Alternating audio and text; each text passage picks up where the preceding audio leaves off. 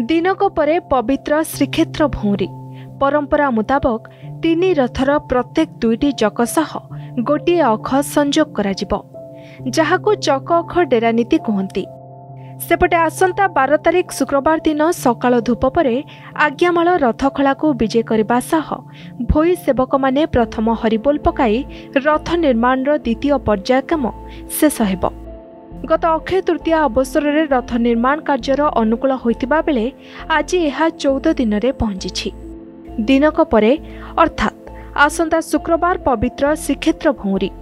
ବିଧି ଅନୁଯାୟୀ ତିନି ରଥର ଛଅଟି ଚକ ସହ ତିନୋଟି ଅଖ ଡେରାଯିବ ଯାହାକୁ ଚକ ଅଖ ଡେରା ନୀତି କୁହନ୍ତି। ଏଥିପାଇଁ ବିଶ୍ୱକର୍ମା ମହାରଣାମାନେ ଛଅଟି ଚକ ସମ୍ପୂର୍ଣ୍ଣ ପ୍ରସ୍ତୁତ କରିଥିବା ବେଳେ ଆଜି ସୁଦ୍ଧା ଆଠଟି ଚକର ନିର୍ମାଣ କାର୍ଯ୍ୟ ଶେଷ ହୋଇଛି। ମହୁରୀ ଦିନ ଚକ ଅଖ ନିହାତି ହୁଏ ଆମର ନାହକ ଚକ ମଝି ସେଣ୍ଟର ପ୍ରତ୍ୟେକ ରଥର ଯେଉଁ ମଝି ସେଣ୍ଟର ଅଖ ଗୁଡ଼ିକ ଚକ ଗୁଡ଼ିକ ଦୁଇଟି ଚକ ଗୋଟେ ଅଖ ଡେରା କଥା ତାକୁ ଆମର ତିନି ରଥର ସେସବୁ କାର୍ଯ୍ୟ ସମ୍ପନ୍ନ ସରିଲାଣି ୟା ପଛରେ ଆମର ଜୋକା କାର୍ଯ୍ୟ ମଧ୍ୟ ଅଣା ଚାଲିଛି ଯେଉଁଟାକି ରଥ ଚକ ଅଖ ଦଣ୍ଡାକୁ ଯେଉଁ ବାନ୍ଧଣି କରି ରଖିଛୁ ଜୋକା କାମ ଗୁଡ଼ିକ ସେ କାମ ଗୁଡ଼ିକ ମଧ୍ୟ ହଣାଣି କାମ ଚାଲିଛି ଜଳଯନ୍ତ୍ର ଗୁଜ ସେସବୁ କାମ ମଧ୍ୟ ଅନୁରୂପ ଭାବେ ଏଠାରେ ପ୍ରସ୍ତୁତ ହୋଇ ରହିଅଛି।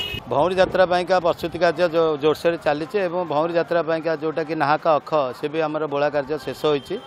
ଏବଂ ନାହାକା ଅଖ ବି ଯେଉଁଟା ନାହାକା ଚକ ବି ଆମର ପ୍ରସ୍ତୁତି କାର୍ଯ୍ୟ ଯେଉଁଟାକି ଭଉଁରୀ ଦିନ ଆମେ ଅଖ ଚକ ସଂଯୋଗ କରିଥାଉ ସେ ଚକ କାର୍ଯ୍ୟ ବି ପ୍ରାୟ ଆମର ଶେଷ ହୋଇଛି ଏବଂ ଭଉଁରୀ ଯାତ୍ରା ଦିନ ଆମର ମହାପ୍ରଭୁଙ୍କର ଆଜ୍ଞାମାଳ ବିଜୟ ହୁଏ ଏବଂ ଆଜ୍ଞାମାଳ ବିଜୟ ସାରିବା ପରେ ଆମେ ପ୍ରଥମେ ମହାପ୍ରଭୁ ବଠାକୁରଙ୍କର ଅଖ ଚକ ସଂଯୋଗ କରୁ ତାପରେ ନନ୍ଦିଘୋଷ ରଥର ଅଖ ଚକ ସଂଯୋଗ କରୁ ତାପରେ ମା ସୁଭଦ୍ରାଙ୍କର ଅଖ ଚକ ସଂଯୋଗ କରି ଆମେ ହରିବୋଲଟି ପ୍ରଥମ ହରିବୋଲଟି ପକାଇଥାଉ।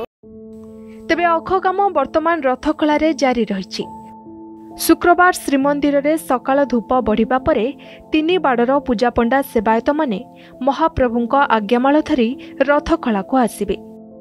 ସେଠାରେ ଭୋଇ ସେବକମାନେ ଚକ ଅଖ ଡେରା କାର୍ଯ୍ୟ ସମ୍ପନ୍ନ କରିବା ପରେ ତିନି ରଥର ମୁଖ୍ୟ ବିଶ୍ୱକର୍ମାଙ୍କୁ ପୂଜାପଣ୍ଡା ସେବାୟତମାନେ ଆଜ୍ଞାମାଳ ପ୍ରଦାନ କରିବେ। ଏହାପରେ ରଥ ନିର୍ମାଣ କାର୍ଯ୍ୟ ଦ୍ରୁତ ଗତିରେ ଆଗେଇ ଚାଲିବ। ତିନି ରଥରେ ସମୁଦାୟ ବୟାଳିଶଟି ଚକ ମଧ୍ୟରୁ ଆଜି ସୁଦ୍ଧା ବାଇଶଟି ଚକ ନିର୍ମାଣ କାର୍ଯ୍ୟ ଶେଷ ହୋଇଛି। ସେପଟେ ଅକ୍ଷୟ ତୃତୀୟା ଠାରୁ ବାହାର ଚନ୍ଦନ ଯାତ୍ରା ଚାଲିଥିବା ବେଳେ ସେବାୟତ ସେବାୟତଙ୍କ ମଧ୍ୟରେ ବିବାଦ ଯୋଗୁଁ ନୀତିକାନ୍ତିରେ ବିଳମ୍ବ ଘଟୁଛି। ଆସନ୍ତା ଶୁକ୍ରବାର ପବିତ୍ର ଭଉଁରୀ ଦିନ ରାତ୍ର ତିନିଟାରୁ ଦ୍ୱାରଫିଟା ନୀତି ପରେ ଅନ୍ୟାନ୍ୟ ନୀତି ପଢ଼ି ସକାଳ ନଅଟା ତିରିଶରେ ରଥଖଳାକୁ ଆଜ୍ଞାମାଳ ବିଜେ କରିବ।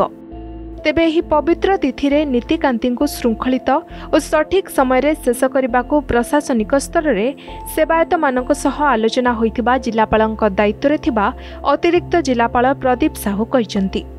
ଅନ୍ୟପଟେ ଏହି ଦିନରେ ଭକ୍ତଙ୍କ ଭିଡ଼କୁ ନଜରରେ ରଖି ପୋଲିସ ପ୍ରଶାସନ ପକ୍ଷରୁ ମଧ୍ୟ ବ୍ୟାପକ ବ୍ୟବସ୍ଥା କରାଯାଇଛି। ଭିଡ଼ ନିୟନ୍ତ୍ରଣ ଟ୍ରାଫିକ୍ ନିୟନ୍ତ୍ରଣ ପାଇଁ ସମୁଦାୟ ତିନି ପ୍ଲାଟୁନ୍ ପୁଲିସ ଫୋର୍ସ ମୁତୟନ ହେବା ସହ ଜଣେ ଡିଏସ୍ପି ତିନି ଜଣ ଆଇଆଇସି ଜଣେ ଆଡିସନାଲ ଏସ୍ପି ମୁତୟନ ରହିବେ ବୋଲି ପୁରୀ ଏସ୍ପି କହିଛନ୍ତି। ନୀତିକାନ୍ତି ସମ୍ବନ୍ଧରେ ଆମେ ଆମର ନୀତି ଆଡମିନିଷ୍ଟ୍ରେଟର ସହିତ ଆଲୋଚନା ଆକ୍ଚୁଆଲି ବି ହେଇଥିଲା ଏବଂ ସେମାନଙ୍କୁ ମଧ୍ୟ କୁହାଯାଇଛି ଯେ ଟାଇମ୍ରେ ହେବ। ବର୍ତ୍ତମାନ ଗୋଟେ ଖୁସିର କଥା ଆମ ଗହଣରେ ମୁଖ୍ୟ ପ୍ରଶାସକ ଆସି ପହଞ୍ଚିଗଲେଣି। ସେ ସ୍ୱତନ୍ତ୍ରକୁ ତଦାରଖ କରୁଛନ୍ତି। ଆମେ ଆଶା ରଖିବା ନିଶ୍ଚିତ ଭାବରେ ଯେଉଁ ଆସନ୍ତା ବାର ତାରିଖ ଦିନ ମହାପ୍ରଭୁଙ୍କର ଯେଉଁ ଭଉଣୀ ନୀତି ହେବ ଠିକ୍ ସମୟରେ ସୁରୁଖୁରୁରେ ସମ୍ପାଦନ ହୋଇପାରିବ। हमरा चंदन पोखरी जो जो अरेंजमेंट है से कंटिन्यू करूँ और बड़दाण रे आम ट्राफिक रेगुलेशन स्पेशल व्यवस्था करुचु। रथखला सामने जो आम नीतिकांति हो जड़े डीएसपी और तीन प्लाटून फोर्स हमें एक्स्ट्रा डिप्लॉय करुचु। और traffic just um for the time being जो टाइम रे नीतिकांति हो सही अनुसार हमें टिके रिस्ट्रिक्शन करूँ और मुझे आशा करुचु कि महाप्रभुर आशीर्वाद सब भल रहा ପବିତ୍ର ଭଉଁରୀ ତିଥିରେ ତିନି ରଥର ଦୁଇଟି ଲେଖାଏଁ ଚକ ସହ ଅଖ ସଂଯୋଗ ହେବାର ପରମ୍ପରା ରହିଥିବା ବେଳେ ଆସନ୍ତା ଶୀତଳ ଷଷ୍ଠୀ ଦିନ ସମସ୍ତ ବୟାଳିଶ କୋଟି ଚକର ନିର୍ମାଣ କାର୍ଯ୍ୟ ଶେଷ ହୋଇ ସ୍ନାନ ପୂର୍ଣ୍ଣିମା ଦିନ ଚାରି ନାହକା ଉଠିବାର ବିଧିବିଧାନ ରହିଛି। ପୁରୀରୁ ଭିଡ଼ିଓ ଜର୍ଣ୍ଣାଲିଷ୍ଟ ଗଣେଶ ଦାସଙ୍କ ସହ ଆଲୋକ ଆସୁତୋଷ ଓ ପ୍ରିୟଦର୍ଶନ ମହାନ୍ତିଙ୍କ ରିପୋର୍ଟ ଅର୍ଗସ୍ ନ୍ୟୁଜ୍।